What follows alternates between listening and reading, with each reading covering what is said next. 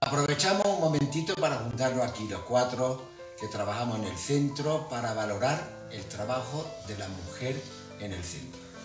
Eh, qué pena, ¿no? Que tengamos que usar un día al año para acordarnos de esa gran labor que hacéis y no tengamos 364 días para saber lo importantes que sois en este centro.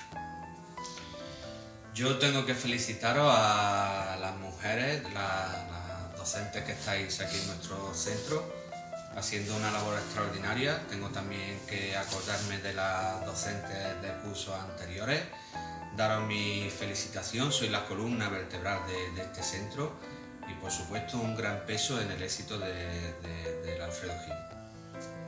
Aparte de corroborar las palabras de mi compañero, unirme a la felicitación de las mujeres trabajadoras que están en este centro, eso hay un pilar importantísimo.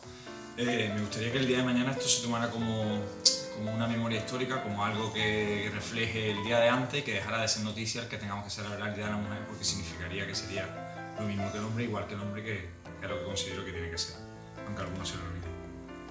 Para mí es un orgullo y un honor poder trabajar con vosotras día a día, codo con codo, y sacar todo esto adelante. Gracias. Feliz 8 de marzo.